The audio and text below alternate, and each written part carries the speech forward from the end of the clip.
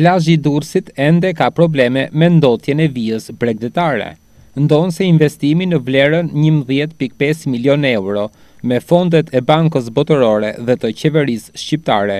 përmirësoi ndjeshëm situatën me ndërtimin e magjistralit Plepa-Golem që eliminoi gropat septike Përsëri problemi i ndotjes nuk është eliminuar. Kanali i Plepave është një ndër ndotësit më të mëdhenj të gjirit të Durrësit, nga i cili derdhen çdo ditë në det mbeturina të rrezikshme për shëndetin. Sidomos në rrjedhën rurale të tij, ky kanal shërben edhe si pikë shkarkimi për ujërat e zeza të shumë banorëve, ujëra këto që derdhen më pas në Adriatik duke mos iu nënshtruar asnjë procesi depurimi,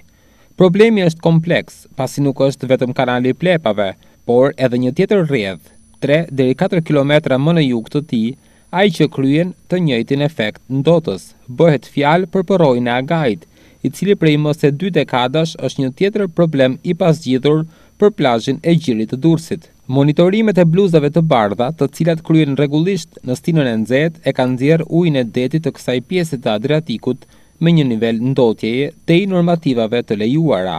kur na ndanë më pak se një muaj nga nisja zyrtare e sezonit turistik, duket se edhe vera e vitit dy mijë e pesëmbëdhjetë do të vijojë me të njëjtën problematikë të trashëguar në vite.